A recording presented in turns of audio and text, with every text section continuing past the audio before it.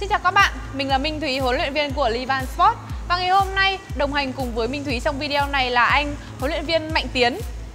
À, Như các bạn đã biết, việc tập luyện mà có một người cùng đam mê, cùng sở thích đi tập cùng chúng ta hẳn là rất tuyệt vời đúng không nào? Tuy nhiên những bài tập lại thường dành riêng, được thiết kế dành riêng cho một người. Vậy thì anh Tiến cho Thúy hỏi là không biết có những bài tập nào mà dành riêng cho các cặp đôi không? Rồi, tất nhiên rồi, có rất nhiều những bài tập đôi. Và hôm nay Tiến và Thúy sẽ hướng dẫn các bạn những bài tập này à, Các bạn sẽ xem hết video này nhé.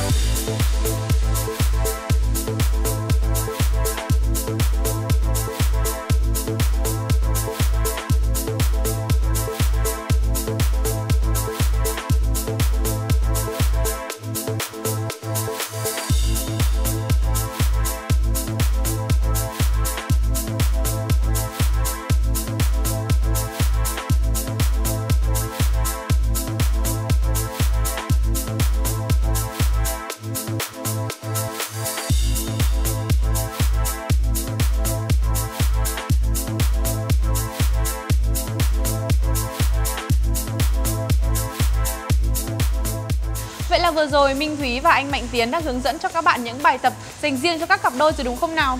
Các bạn đừng quên like và share video này để ủng hộ cho Livan Sport nhé.